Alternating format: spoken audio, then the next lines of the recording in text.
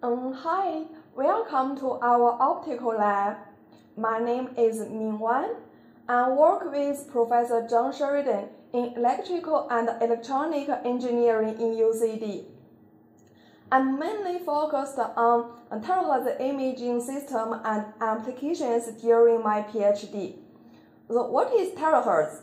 Terahertz is an electromagnetic wave with frequency from 100 GHz to 3 THz. The terahertz imaging system has been widely developed in recent years due to the development of terahertz device and components. So, for example, terahertz digital holography, terahertz near field imaging, and tomography.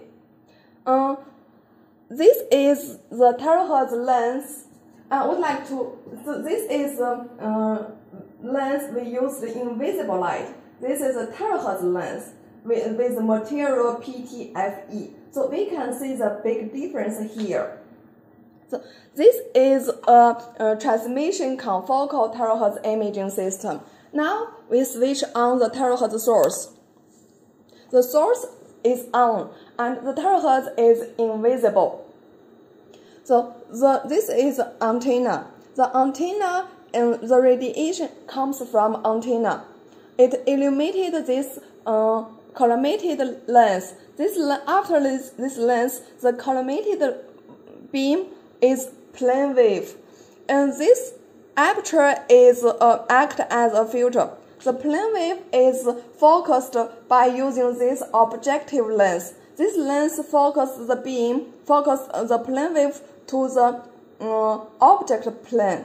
The object is controlled by three-dimensional stage in x, y, and z direction. The, uh, this is collective lens. This lens collects the, inf uh, the uh, radiation, the information from object to imaging uh, to detector plane. So the information of the object is recorded by the camera we can do sectioning also. So we, we move the object in z direction, then we can capture different positions image of the sample on the camera plane. So this is um, a simple um, confocal imaging system. Uh, so why we do this? Because it can do, uh, we can use it to, for high resolution imaging and three-dimensional imaging. So the terahertz is ionizing, non-ionizing, and it is harmless for human. Therefore, we can do um, biomedical image, um, biomedical uh, diagnosis uh, using terahertz source. Also, it has been widely used in um, airport for security check. Um, okay, that, that is my system. Here also I would like to thank my supervisor, Professor John Sheridan, um, for his support and encouragement. Also, I would like to uh, thank this project, CELTA.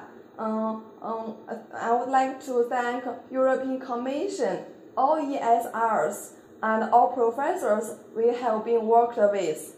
Thank you.